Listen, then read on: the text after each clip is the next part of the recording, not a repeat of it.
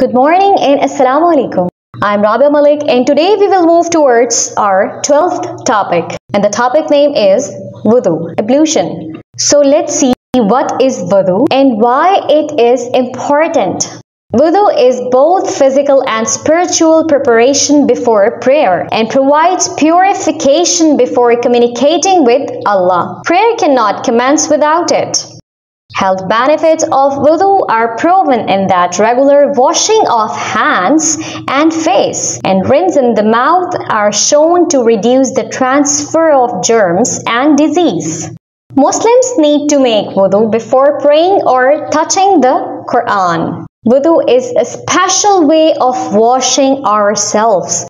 Prophet Muhammad peace be upon him told us how to do wudu. When we make wudu, we need to 1. Wash our hands 2. Rinse our mouth 3. Rinse our nose 4. Wash our face 5. Wash our arms 6. Wipe our head 7. Wipe our ears 8. Wash our feet Following are the things that break ablution. Number one, going to the toilet. Number two, vomiting. Number three, injury on skin to make the blood flow. Number four, ear or nose bleed.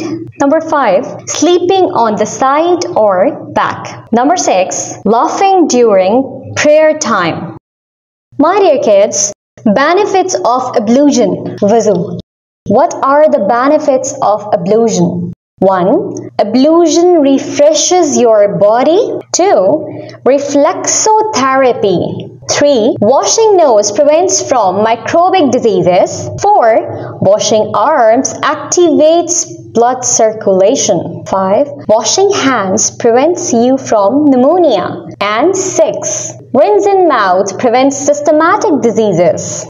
At this point, we will end the lecture. Thank you and Allah Hafiz.